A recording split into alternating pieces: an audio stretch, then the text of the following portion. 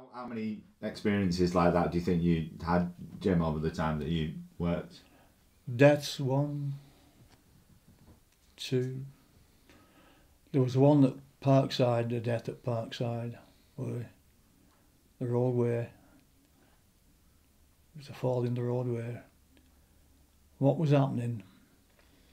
The what we called haulage lads. They used to take, you know, the supplies in and out and this and other. But they was transferring, uh, getting a transformer out.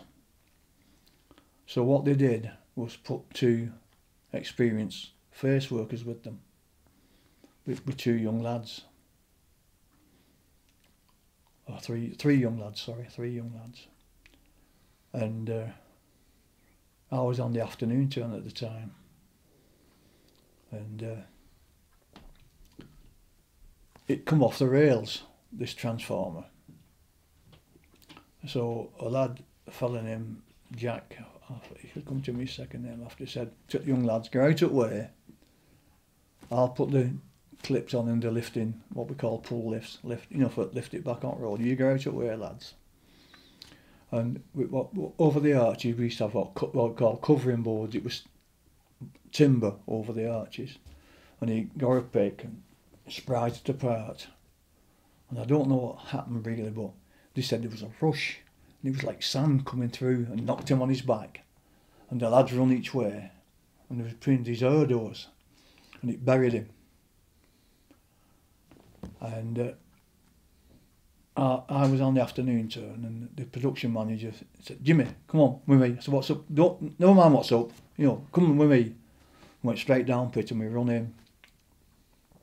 And the lads were uh, digging. And uh, they had to, obviously, it was a confined space, so they was turning, you know, spreading to one another and turning it over, all the, the, the, the mess. It was just like sandy. And uh, we got to his feet first.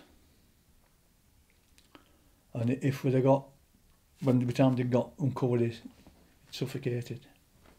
It wasn't the injuries what caused it, it was suffocation. Jack Taylor, his name was. I think he was from Chorley. Yeah. And he, he that was, I've plenty of injuries, like kind of thing, yeah. but death, that was, Mm. he was, he was such a nice fella, Jack.